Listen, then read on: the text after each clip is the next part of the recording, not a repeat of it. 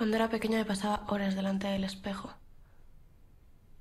Jugaba que me entrevistaban porque era alguien famoso.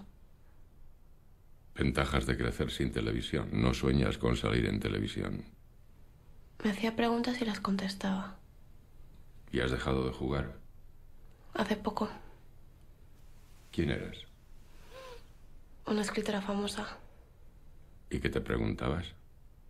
por mi último libro. Yo jugaba a dar misa. Hacía de cura y daba la misa. Yo a veces daba discursos políticos.